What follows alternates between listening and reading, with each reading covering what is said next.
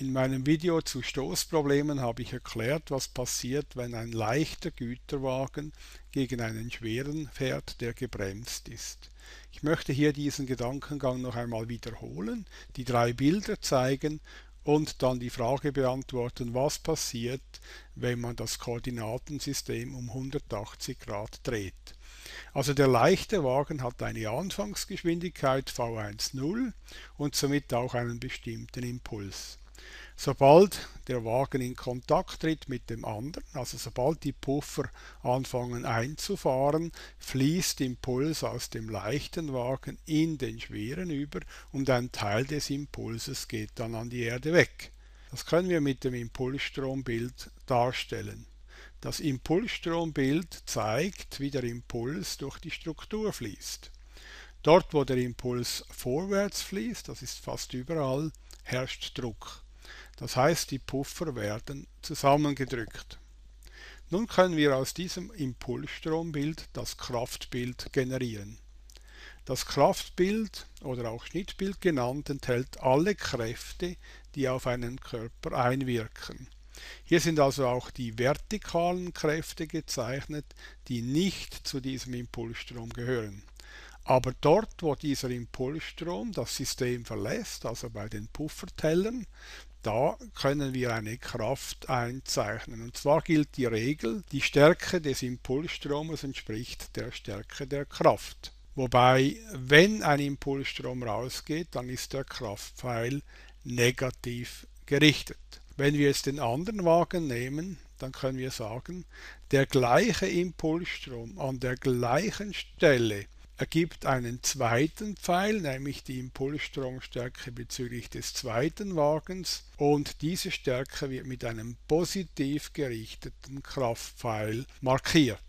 Diese beiden Kraftpfeile sind übrigens ein Wechselwirkungspaar im Sinne des dritten Newtonschen Axioms. Wir haben also das Impulsstrombild, das Kraftbild und jetzt kommt noch das Flüssigkeitsbild dazu, das die ganze Dynamik beschreibt. Im Flüssigkeitsbild wird der Impuls zu einer Flüssigkeit und die Körper werden zu zylinderförmigen Töpfen, wobei die Masse als Querschnitt auftaucht. Die Geschwindigkeit ist dann die Füllhöhe. Wir können also sagen, der Impulsinhalt ist Masse mal Geschwindigkeit, also Grundfläche mal Höhe. Der Impulsstrom oder eben im Kraftbild die Stärke der Kraft ergibt hier wieder einen Strom, also hier die Pufferkraft oder der Impulsstrom durch die Puffer, hier der Impulsstrom an die Erde, genannt Reibkraft. Diese Kraft, die habe ich da unten markiert, die entspricht übrigens der Stärke des abfließenden Impulsstromes. Also auch hier gilt die Regel, wenn Impulsstrom abfließt, führt das zu einer negativ gerichteten Kraft. Und hier sieht man etwas Eigenartiges, der Impuls fließt nach unten, aber der Kraftpfeil, der zeigt dann immer noch horizontal. Der Kraftpfeil ist eben nur ein sogenannter Bilanzpfeil. Zurück zum Flüssigkeitsbild, also wir können hier jetzt noch weiteres erkennen. Neben dem Impulsinhalt können wir die kinetische Energie erkennen, wie ich schon erklärt habe, nämlich Impulsinhalt mal mittlere Pumphöhe von der Erde, wenn man also den Impuls hineinpumpt, das gibt dann eben Impulsinhalt mal Geschwindigkeit halbe oder eben Masse halbe mal Geschwindigkeit im Quadrat.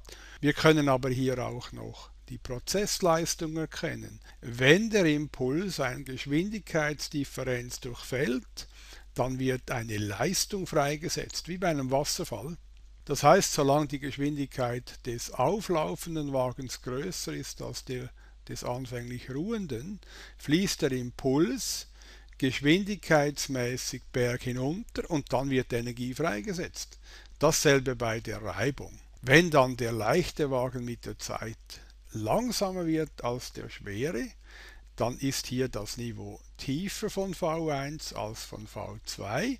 Dann fließt der Impulsstrom berg hinauf und dann braucht es Energie, um den Impulsstrom anzutreiben. Und diese Energie kommt dann von der Feder. Das heißt, in den Pufferfedern wird Energie zwischengespeichert. Wir können aber auch dem Impulsstrom lokal, zum Beispiel beim Austritt aus dem leichten Wagen einen Energiestrom zuordnen. Das ist dann einfach Stärke der Kraft oder des Impulsstromes mal Geschwindigkeit, also Stromstärke mal Höhe über Nullniveau. Nullniveau ist die Geschwindigkeit der Erde. Soweit das Bild, also ich habe es jetzt hier ein bisschen kurz gefasst, auch nicht ganz systematisch erklärt. Jetzt gehen wir über zur Frage, was passiert, wenn man das Koordinatensystem um 180 Grad dreht.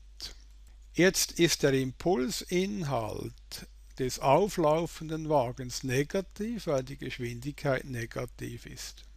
Der Impulsstrom fließt jetzt auf die andere Seite. Aber die Regel, wonach ein vorwärts fließender Impulsstrom die Puffer zusammendrückt, die bleibt natürlich erhalten. Jetzt, wenn wir übergehen zum Kraftbild, dann passiert etwas Eigenartiges. Also hier haben wir den leichten Wagen, da fließt Impuls hinein und deshalb gibt es hier eine Kraft, ein Kraftpfeil vorwärts. Beim schweren Wagen fließt Impuls bei den Puffen raus. Es gibt eine negativ gerichtete Kraft, also nach rechts. Jetzt sieht man schön, der Impulsstrom dreht zwar seine Richtung um, wenn man das Vorzeichen der zugehörigen Achse umdreht, aber die Kräfte sind invariant gegenüber dieser Operation. Man kann also sagen, die der Impuls und auch die Impulsströme hängen vom Koordinatensystem ab, die Kräfte dagegen nicht. Dafür sind die Kräfte systemspezifisch. Das heißt, es kommt immer darauf an, Kraft auf wen. Und wenn man jetzt also einen Impulsstrom an einer Stelle hat, dann führt das zu zwei Kraftpfeilen. Im Flüssigkeitsbild ist dann das Niveau unter Null, also negativ, die Geschwindigkeit ist ja negativ und der Impulsstrom fließt von der Erde in den schweren Wagen als Reibung und vom schweren Wagen in den leichten über die Puffer. Was aber bleibt, ist jetzt der Energieumsatz. Das heißt, sowohl dieser Impulsstrom als auch dieser Impulsstrom setzen im Moment Energie frei. Und das ist unabhängig von der Wahl der Koordinatenrichtung. Auch die kinetische Energie ist jetzt erkennbar als positiv. Man muss sich jetzt fragen, wie viel Impuls muss man aus dem Körper heraus an die Erde pumpen und wie viel Energie braucht es dazu. Und das ist natürlich wieder Impuls, also Masse mal Geschwindigkeit mal mittlere Pumphöhe, das ist halbe Geschwindigkeit. Auch der zugeordnete Energiestrom bleibt gleich. Also zum Beispiel an dieser Stelle da fließt Impuls rein, aber die Geschwindigkeit ist negativ. Impuls fließt rein, aber Geschwindigkeit ist negativ. Deshalb fließt hier Energie aus dem leichten Wagen heraus. Das heißt, der Impulsinhalt des leichten Wagens nimmt im Moment zu, aber die kinetische Energie nimmt im Moment ab. Also als Fazit kann man sagen, das Flüssigkeitsbild und das Impulsstrombild reagieren auf die Wahl des Koordinatensystems, das Kraftbild nicht.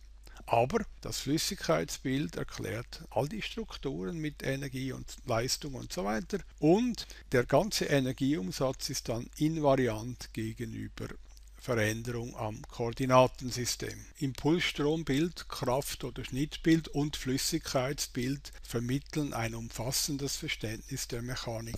Wer diese drei Bilder verinnerlicht hat, ist in der Lage, komplexe Probleme der Mechanik zu analysieren, zu verstehen und zu berechnen. Er ist aber auch in der Lage, in vielen Lehrbüchern Fehler zu entdecken und davon gibt es wahrlich genug. Nun, die Systemphysik, wie sie hier dargelegt wird, basiert auf dem Karlsruher Physikkurs. Und der Karlsruher Physikkurs ist jetzt unter Druck geraten durch ein hinterhältiges Gutachten der Deutschen Physikalischen Gesellschaft. Wenn man das mal gesehen hat mit diesen Impulsströmen, mit dem Kraftbild und mit dem Flüssigkeitsbild, dann kann man über dieses Gutachten nur noch den Kopf schütteln. Ich zeige hier das Fazit zu den Impulsströmen. Also da wird gesagt, dass die Richtung des Impulsstromes experimentell nicht überprüfbar sind. Das stimmt so nicht. Wenn man ein Koordinatensystem einführt, dann kann man sagen, immer dann, wenn Druck herrscht, fließt der Impuls vorwärts und immer wenn Zug herrscht, fließt der Impuls rückwärts. Und das ist experimentell überprüfbar. Natürlich hängt vorwärts und rückwärts von der Wahl des Koordinatensystems ab, aber Impuls und Raum gehören eben zusammen. Das behauptet ja auch das Newtonsche Theorem. Aber dann zu schließen, dass der vom KPK eingeführte Impulsstrom nicht existiere, weil man die Richtung nicht eindeutig festlegen kann, das ist nur noch blanker Blödsinn.